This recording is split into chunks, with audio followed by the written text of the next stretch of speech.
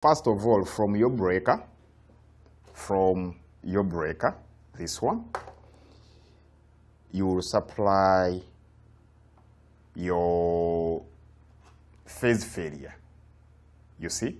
Now, you will supply your phase failure. So we know that when this energizes, it gives uh, 18. So now 18 will get power when this coil energizes. And then it will supply our relay, our, our, our timer. We only want number 18, which is normally open, which will close when, when the timer uh, energizes.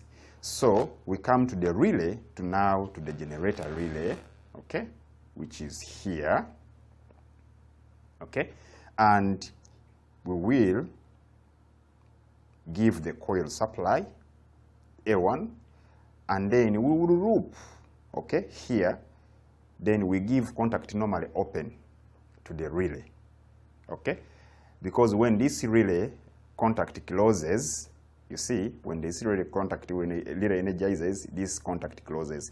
Now, when it closes, it will go through the normally closed of the generator contactor now, okay? We'll go through the normally closed of the generator contactor, and now here it is, it goes to the generator contactor coil. Okay? Now, that then means that this is a neutral, and this is a neutral, and this is a neutral. Okay?